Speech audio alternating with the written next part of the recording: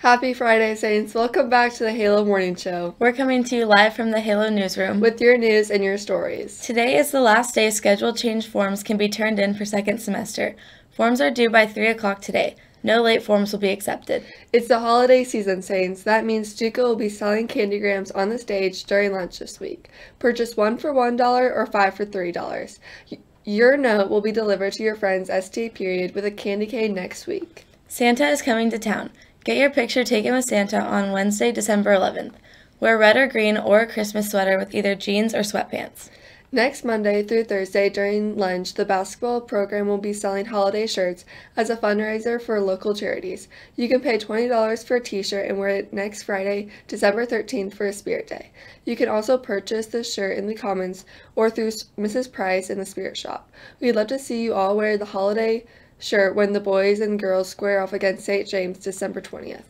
Mrs. Spillman is looking for four to six people to work at the ticket office and act as ushers for the Christmas show.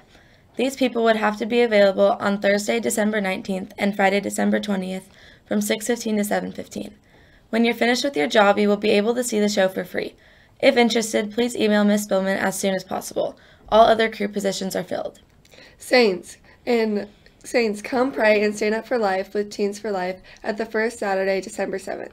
Attend the pro-life mass at Nativity Church at 8:15 and then pray at pray at 9 a.m. in front of Planned Parenthood for 1 hour.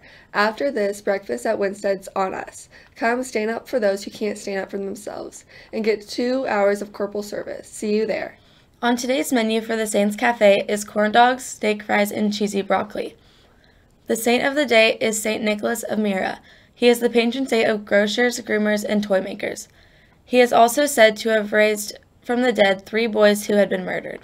Now it's time for the fun fact of the day. Did you know that Japanese railways are so highly organized that their delay time is a maximum of 18 seconds? I did not know that. Thanks for watching today's show. I'm Greta I'm Amber, Signing signing, off. off. And remember, stay classy, Saints. and make this day count.